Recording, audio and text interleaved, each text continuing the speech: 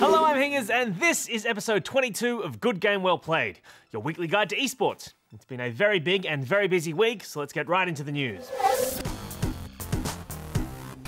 The CEO of professional esports team Natus Vincere, Alexander Kokhanovsky, has formed an unofficial union of esports teams. The Ukrainian national Kokhanovsky has written to several major tournament organisers, including ESL, DreamHack, and MLG, on behalf of a loose conglomerate of teams in order to explain minimum standards for tournaments in the future.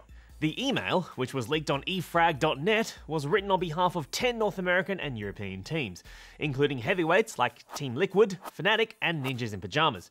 It primarily relates to playing and tournament conditions for Dota 2 and CSGO events, as well as Heroes of the Storm and Hearthstone competitions. Most notable amongst these conditions is that the teams will decline any Dota 2 and CSGO events without LAN finals, except for certain US teams who will travel for minimum prize money. Online tournaments have been plagued with DDoS attacks and issues of instability in the past, including in recent times at the International earlier this year. Now, but of course, one of the big advantages for. Oh, okay, we've got some time to talk about that. As well as this, the teams are asking for tournaments to cover their accommodation and travel costs as separate to prize money, and the email lays out the best practices for media coverage before, during, and after events.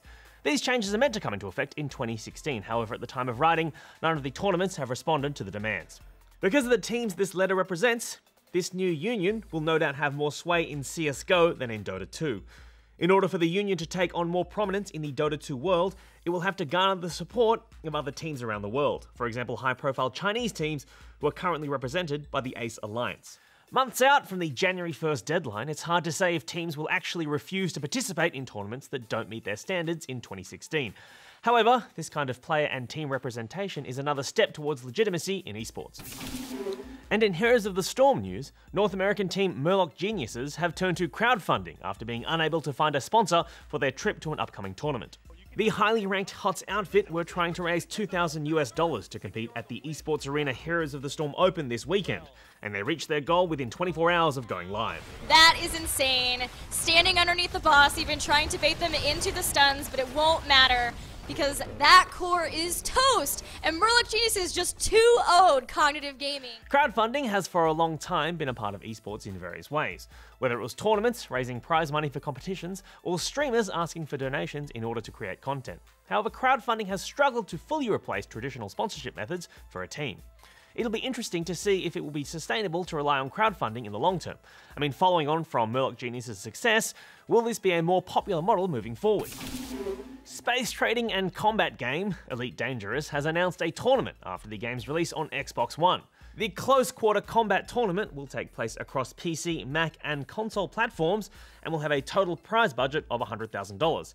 However, according to the community post, this will include travel and accommodation costs. Mr. Kokhanovsky would not be impressed. The final will take place in the UK and will have a $15,000 first place prize. There are no specific date details as of yet, but the tournament is open to all Elite Dangerous players, so you might as well give it a crack. And to StarCraft news, the 2015 Pro League has been decided in Korea. Tournament favourites SKT1 took out Jin Air Green Wings in the best of seven Team League Series 4 2 last week to take home $42,000 US in prize money. Go SKT1! Incidentally, SK Telecom sponsors both the Pro League and the team that won the Pro League. Is it a conspiracy? Mm, I don't know. Meanwhile, in CSGO news, the 2015 World Championships took place in Belgrade over the weekend.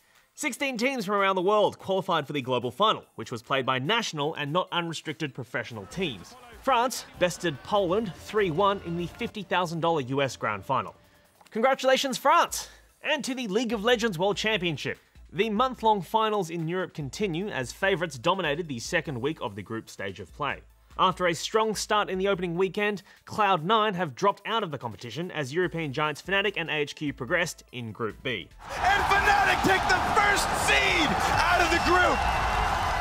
The story of the tournament, however, was the emotional retirement of the most successful Western League of Legends player of all time. Dyrus, from Team Solo Mid, had an emotional exit interview from the tournament where he thanked his team, fans, and the community for their support over the years, and apologised for letting them down. I'm really sorry to all my fans that I let you down. Dyrus will be remembered as an incredibly laid back player who travelled a lot with his pillow and spent many years wearing Bono esque yellow glasses. That's all for this week. As always, get in touch via social media and let us know your thoughts. Thanks for watching, and we'll see you next week. Hingers out!